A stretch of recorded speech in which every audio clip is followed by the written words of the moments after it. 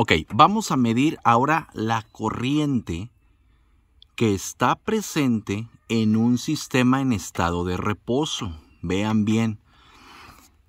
Cuando nosotros vamos a conectar nuestra batería de esta forma, nosotros para medir voltaje es posicionar en positivo y negativo, eso es todo. Pero para poder medir la corriente necesitamos hacer que ese flujo pase por nuestro tester para que nos dé una lectura. Para ello vamos a tener que abrir el circuito así y vamos a tener que hacer un jumper entre la terminal, el tester y el burner. Vamos a hacerlo. Vean bien. Voy a colocar aquí la pinza a la terminal y el otro lo vamos a colocar sobre el burner. Vean que ahí empieza a generarse un flujo.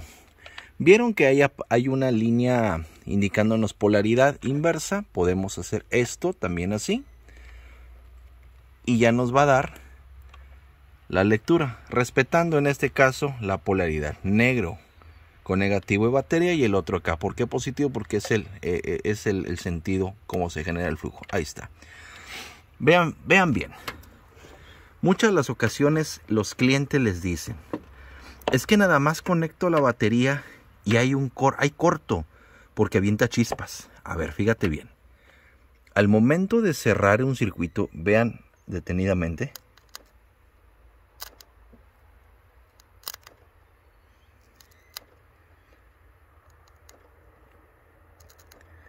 Es lógico que arroje chispas porque estás conectando, estás cerrando un circuito. Es lógico, es normal. Una vez que conectas, los sistemas deben de estabilizarse. Vean bien, vamos a conectar adecuadamente. Ok, vamos a hacer la prueba.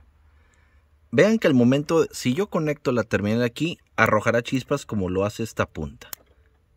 ¿Por qué? Porque estoy haciendo fluir la corriente a través del tester. Al momento de conectar, vean la lectura. Voy a desconectar. Vean la inercia que se genera al momento de la conexión. Ahí está, 9 amperes aparecieron al momento de la conexión, por eso avienta esa chispa. Ahí va de vuelta. Ahí estoy desconectando. Conecto en este momento 7 amperes. Esos amperes que aparecen al inicio son las chispas que ustedes están viendo. Pero conforme, conforme dejo conectado, ahí está el consumo actual del vehículo. Hay que esperar aproximadamente unos 30 segundos, a veces hasta un minuto, para que los módulos que están alimentados de forma directa entren a un estado de reposo y deshabiliten algunos sistemas hasta que la lectura sea de 400 miliamperios. Ahí se sigue manteniendo o lo que viene siendo de como 0.400 amperios. Un sistema en buenas condiciones tiene que estar abajo, abajo de medio amperio, es decir, de 400 miliamperios hacia abajo. Hay vehículos que apagan totalmente el sistema hasta ceros. Ahí hay consumo. Ahí hay consumo y déjenme comentarles que este vehículo ya nos han reportado que si lo dejan mucho tiempo con la batería conectada, esta se consume. Eso es consumo. Es decir, lentamente la batería se va descargando. Vean, ahí entro en estado de reposo.